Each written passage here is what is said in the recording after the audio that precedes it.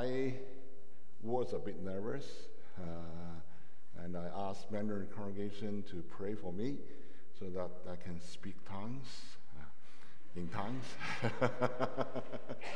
so my English uh, could be understood. Uh, could be understood. Uh, yeah. So uh, let's pray before we hear the word of God. Father, we ask you to help us um, to listen to your word and obey. And uh, uh, we commit this time in your hand. We pray in Jesus' name. Amen. Yeah, uh, because it's my first time, let me introduce myself. Uh, I grew up in a Christian family, and I uh, getting to know Jesus and the gospel at the age of 18 uh, when I was in first year of uni. So I came to Australia in 1989. And uh, so then I went to Bible College, SMBC, and I, I got to know my wife there. So we got married. So I started my uh, full-time ministry in 1994. At that time, I knew nothing, but I thought I knew everything. so uh, let's uh, on. Okay. Yeah. Th- this uh, this is this was how I uh, I actually, this is this was Hong Kong. Uh, um, my wife Janice and I and Lydia, she was about probably one and a half. So we visit Hong Kong together, and uh, uh yeah, then uh, we've been missionary uh, with Far East Broadcast Company for 15 years, and CBC have been supporting us uh, since um, um, it was 1996. Um, yeah, and then uh, during this time, God taught me to be humble and willing to learn. So, yeah, I, I, when I was getting old, I, so I learned a bit uh, humble myself I think my best time was uh, when I was about age of uh, 40 to 50. At that time, I, I gained a bit more experience and uh, uh yeah, so my health was okay, so I can uh, serve um, with my full strength. but now, I am 57. I'm very old now. And uh, I gained more experience, but my health um, uh, has been going down. So, um, yeah. I want to do more, but I find that uh, I didn't have my strength always as good as before So, yeah, that's, that was me. Um, but through my past 25 years of uh, ministry experience, more and more I realize that I need to rely on God. And uh, uh, it, it is God who is in charge, and I sh- should always listen to Him and obey Him. You know, in the past, I want to help God, you know, and I want to do something for God. And uh, uh, I, I thought, oh, this, this is good for God's kingdom. Then I realized that it is God who has planned everything, and uh, it's His grace that we can serve in His kingdom and in His plan. Uh, God is the owner, and uh, so we are the worker. So we should. Uh, would you help me? Yeah. Always ask him what to do uh, before we begin and ask His will instead of my will. Otherwise, we just do some work without pleasing God. Today, we will look at the uh, Church of Antioch and uh, how the church listened to God's guidance and obey God's mission. Um, so, first, uh, we look at uh, uh, Acts 13, verse 1. Uh, let's see. Oh, sorry. This is what, yeah. God uses leaders of the church. Here in this verse, we can see that in this Antioch church there were prophets and teachers. So they are the uh, very important roles in the, in the church. Prophet, at that time, I think uh, they are the people who understand God's will and uh, pass God's will to the congregation. That's prophet. And uh, teachers uh, are the people who uh, maybe lead the Bible study and teach God's word. So I think uh, these two roles are critical because I think God's will in the church is that uh, we can learn God's will and we can understand and we can do God's will according to God's word. Um, so let's look at this word, uh, this verse, and see who are these leaders. Uh, Barnabas, uh, he was from Jerusalem church.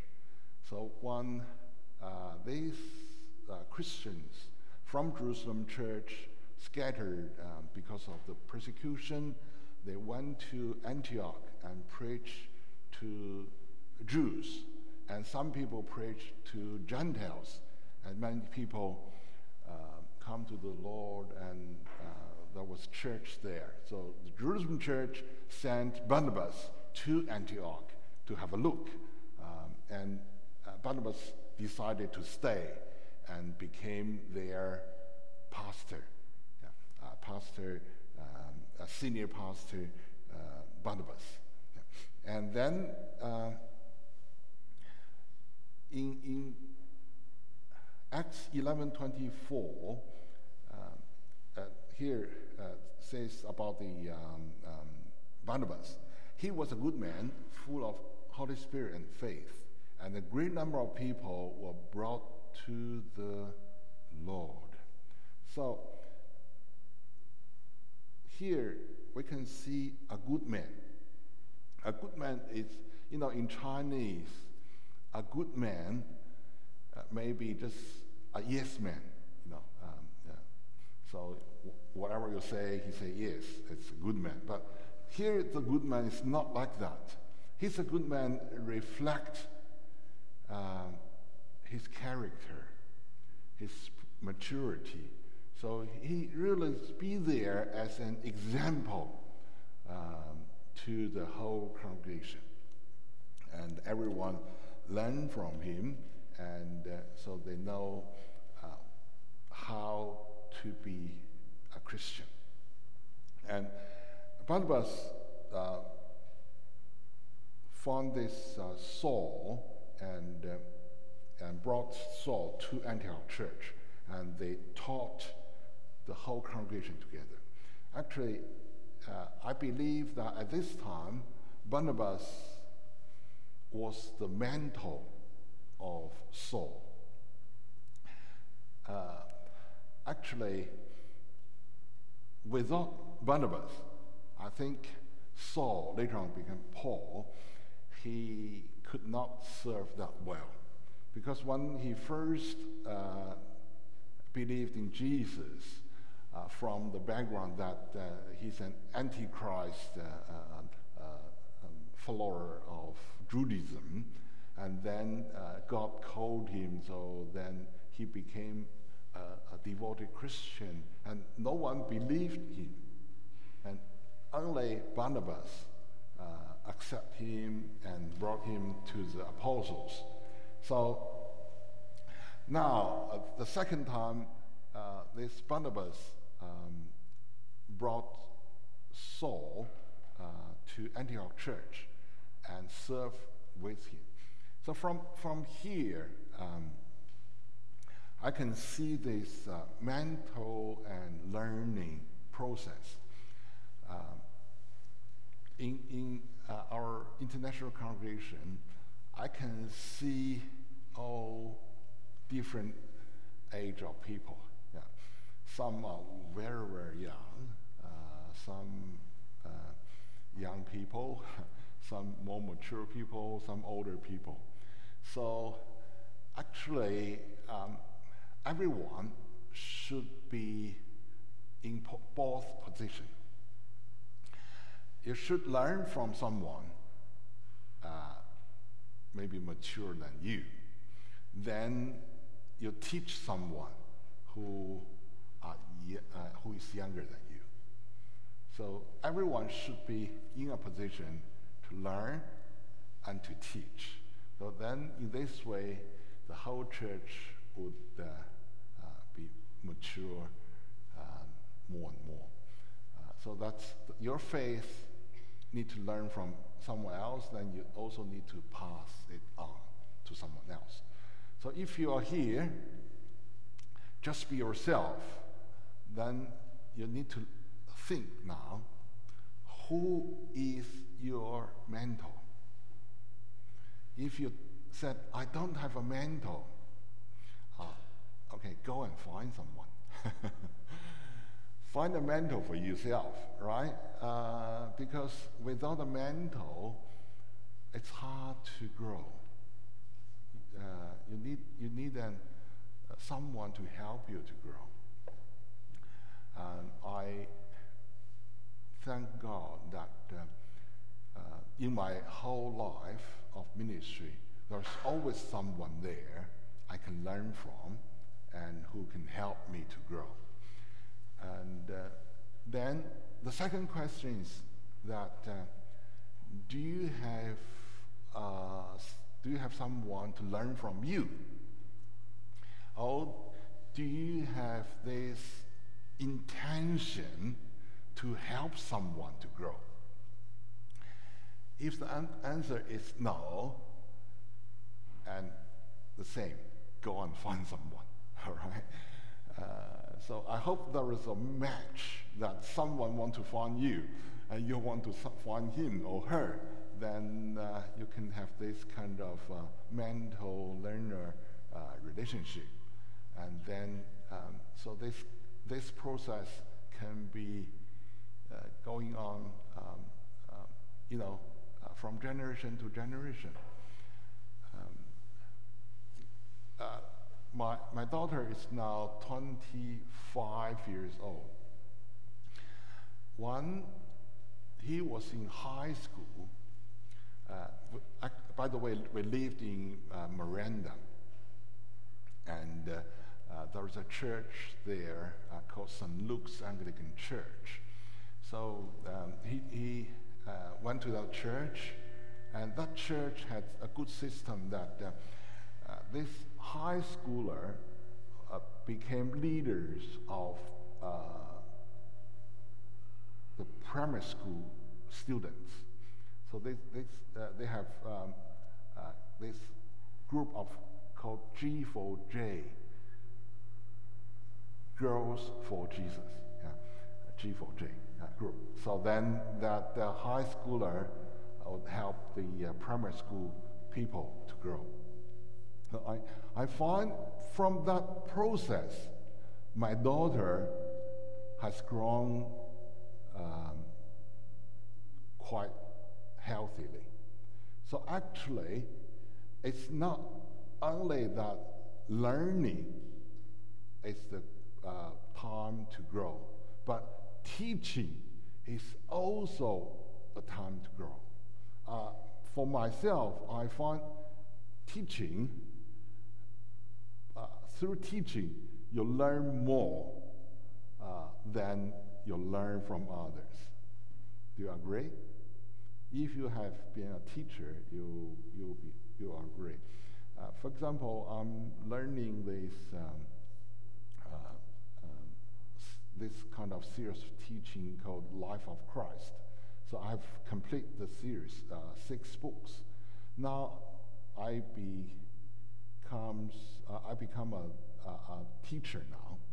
So when I start to teach this series, I found I learn more uh, from teaching uh, than I, uh, than the time I learned uh, as a student. So please find someone you can teach and so you, you can grow together. Yeah. Um, yeah.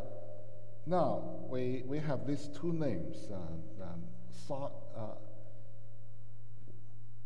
how to say it? Simon. Simon, right? Because uh, it's very hard for me to pronounce all these names. Simon, okay. Uh, um, it's called Niger. So Niger, um, it's uh, what his his skin is dark, um, and uh, so this uh, Lucia uh, from Cyrene. Cyrene is a place in North Africa. So actually, this, these two people are all probably African people. And uh, when you read um, Acts 11, you'll find that those people are the first ones who preached to Gentiles. And uh, so, so I assume that these two people, they are Gentile leaders there because they preached to Gentiles, and many Gentiles became Christians. And these two people are leaders of this Gentile group. And uh, Manaen, this is uh, brought up with Herod. So this Herod, it, uh, we believe that he's a Herod uh, uh, Antipas. So then uh, if you calculate his age, so this Manaen, he must be in age of 65 with very high social status. So he's a group of, he's a leader of a group of maybe older people. Yeah. Then let's look at the Antioch church. The Antioch church has Jewish people and Gentile people and some poor people and some high status people and some younger people and some older people. Yeah, probably uh, look at us. Uh, we are a very mixed congregation. Uh, we have uh, very young people, uh, some uh, young people, middle age, uh, uh, senior people, and some from uh, different cultural background. And here we see that in each group, God will raise different leaders to lead the group. So uh, here we can see that God uses leaders to help the church to grow. So, uh, may I ask you a question? Do you want to be a leader? No. Yes. uh, everyone should have a desire to be a leader because uh, in the future, this church need more and more leaders. And uh, and God will use you. You may say, Oh, I don't want to be a leader because I'm not a natural leader. I tell you what, I was not a natural leader. Uh, when I was young, I was very, very shy. Uh, in Mandarin congregation, I preached the same passage, and uh, I asked the congregation, who is the most shy people in this congregation? and uh, then I taught them I was the one. I was very shy. Uh, you know, when some people visit me, uh, visit our family, I I would hide in another room until the gas go. so, you know, and then God changed me. And, uh, you know, when I first uh, went to Bible college, my father, uh, who was still in China, wrote me a letter. Uh, then he listed 73 reasons that I shouldn't be a pastor. then, uh, uh, but God has changed me a lot. So, um, um, so God can change me. God also can change you. You also can be a leader. So uh, let's prepare ourselves to be a leader. But to be a leader, we first need to learn to serve. We first need to learn to be humble. And then, when we are willing to serve, when we learn to be humble, then the next thing is that we are willing to take some responsibilities. Uh, so this is a bit contradict to each other. Humble and also take some responsibilities. But you need to be both uh, and to be a good leader. Uh, we, to serve God is a most honored thing in your life. So please uh, start from the most humble thing to serve. Then God will use you later on to greater things. Okay, secondly, um, to seek God's will. Thank you. Uh, so one day, here it says that one day, uh, worshiping Lord and fasting. So in this church, Antioch Church, they have two things to do. First, worshiping, and second, fasting. Yeah, uh, yeah we in inter- international congregation we have very good uh, worship team, but worshiping is not only worship in songs, but worshiping is worshiping from our heart. Uh, when the Lord Jesus uh, talked to the woman in Samaria, Samaria, um, then Jesus said, "Worship in spirit and in truth." Yeah. So uh, when we worship God, to worship Him in spirit and in truth. Fasting. Uh, have you tried fasting? Uh, no.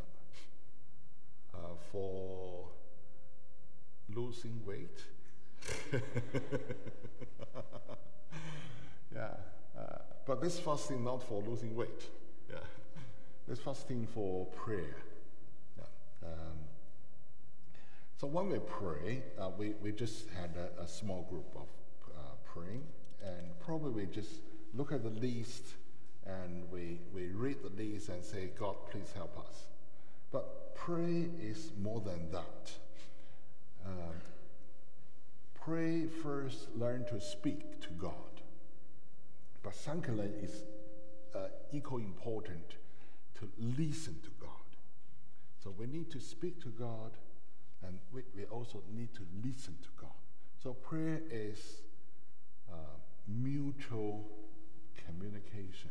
Yeah. Then we can understand God's will. Look at this church. They always pray. And they have serious prayer, and then they understand God's will. So uh, Wilson just said that we are in the last stage to Vision 2020.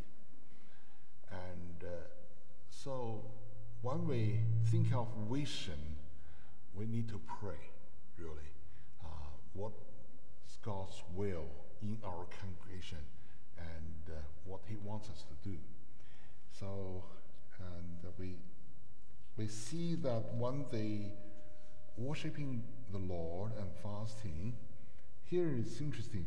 The Holy Spirit said, uh, God answered them. God has given them an answer. How? Has anyone experienced, uh, heard the voice of God, the voice of the Holy Spirit? Uh, probably not. Uh, the Holy Spirit would not only speak to one person. So if you said, Oh, I listen to God and this is God's will, uh, probably it's wrong. When the Holy Spirit speaks, He speaks to many people. So we have the same heart. So we go, will go to the same direction. Uh, maybe He will speak to one first, then one by one, everyone will be convinced. So if not everyone convinced, then it may not be from the Holy Spirit. Uh, so let's pray hard and listen to God. Uh, so I have another two minutes, three minutes. Time goes very fast uh, because in English uh, I can't probably um, preach too fast. Right, okay. So when we listen to God, uh, God may not reveal His will fully. He will reveal His will step by step. So He will let us to see the first step. Uh, we have to step in by faith. Then He will show us the second step. If you, for for us, we may we want to see the whole thing before we go in, but by faith is that we can't see the whole thing. Uh, you know, in this verse, uh, uh, God called them to uh, to serve, uh, to set apart, to do God's will, but didn't say what. So then later on they find out what, but here they have to do it by faith. Okay, let's look at the verse 3. Uh, after they have fasted and prayed, they placed their hands on them and sent them off. Here, they pray again. So they pray to seek God's will. When they understand, they pray again to be convinced that this is God's will. Because here, uh, the Holy Spirit want to send their senior pastor and uh, their congregation pastor away uh, from the church. This is very serious. Okay, uh, if our church want to send our uh, senior pastor Reverend David and our pastor John to mission field, what will you say? it will, very, it be very hard for our congregation, right? Who will teach us? Um, who will preach to us on Sunday? But if this is God's will, then we need to listen. Uh, so then they prayed, uh, they fasted and prayed again. Uh, when they are sure this is God's will, then they place their hands on them and send them off. So this is for the whole congregation. We need uh, to pray and uh, sorry. The whole congregation need to be convinced, and we do it all together. For Vision 2020, if only Pastor John is convinced, if only a few key leaders is convinced, we can't go ahead. So the whole congregation should be convinced. Then we go together. Have you attended uh, uh, Ned and Celian's uh, uh, commission service? Uh, that was very good service. Uh, so, you know, the deacons and laid hands on them, and pastors lay hands on them, and the whole congregation stand up and send them off. Yeah, that's a very good example that uh, God called them, set them apart, sent them off, and the whole congregation support them and pray for them. And, and lastly, uh, we, we see that um, uh, they are not, uh, not only sent by the congregation, but they are sent by the Holy Spirit. Yeah, verse 4. So um, we're not doing things our own. It is the Holy Spirit. Uh, he's guiding us, uh, leading us, and empowering us so that we can serve the Lord. So um, um, from today's uh, this short passage, verse 1 to 4, we have seen a, a, a good example of um, church uh, who sent the first missionary to reach the Gentiles, and uh, then through the first, third, second, third uh, missionary journey, they have built uh, churches throughout the uh, Roman Empire. So uh, if we understand God's will, if we listen God's will, if we obey God's will, God can use us greatly. Yeah, let's pray. Dear Heavenly Father, we thank you for this time, uh, for your words. Uh, thank you for your will. Um, uh, thank you for the guidance of the Holy Spirit. We ask you to uh, teach us, to speak to us, and uh, help us to understand and uh, help us to obey your will. We pray in Jesus' name. Amen.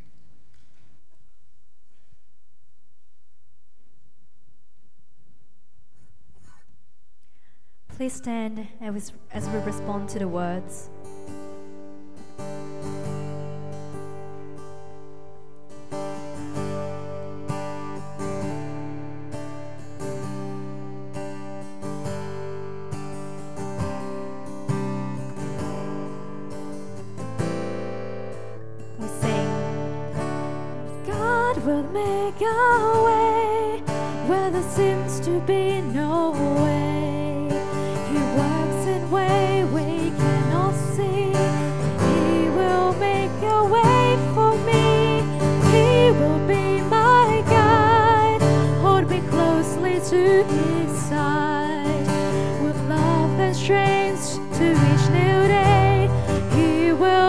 A way.